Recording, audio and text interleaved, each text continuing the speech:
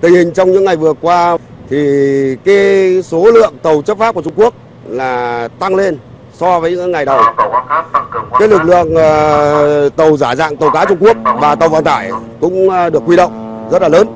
Theo như quan sát của chúng tôi, trong những ngày vừa qua thường xuyên xuất hiện ở khu vực chúng tôi đếm được là từ 60 và đến 68 tàu các loại.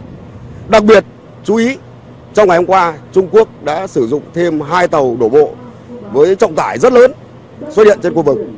Khi chúng tôi tiến vào mục tiêu giàn khoan hạ đặt trái phép thì Trung Quốc đã dàn hàng ngang dày đặc trước cái khu vực mà chúng tôi à, trên trước cái hướng mũi tàu chúng tôi tiến vào.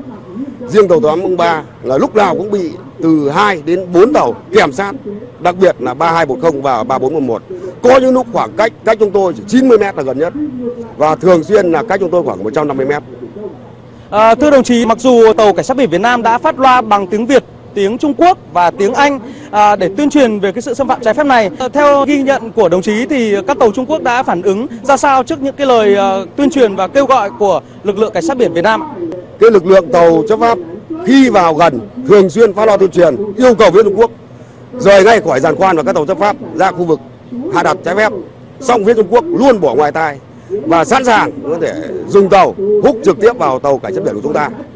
Trong cái thời gian làm việc đây là lực lượng cảnh sát biển Việt Nam đã ba tàu là bị phía Trung Quốc là đã hút vào tàu mà gây thiệt hại về trang bị.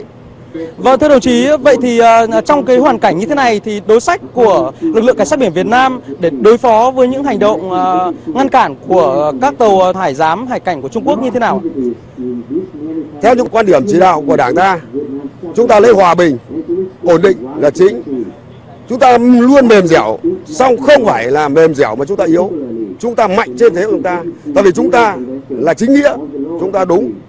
Cho nên chúng tôi xác định rõ quyết tâm là phải bảo vệ vững chắc chủ quyền biển đảo thiêng liêng của Tổ quốc. Trong những ngày tới đây có thể còn căng thẳng hơn, song anh em chúng tôi thường xuyên nhận được sự động viên của các thủ trưởng các cấp và nhân dân cả nước cùng với kiều bào nước ngoài. Chúng tôi càng phải quyết tâm hơn để bảo vệ vững chắc chủ quyền.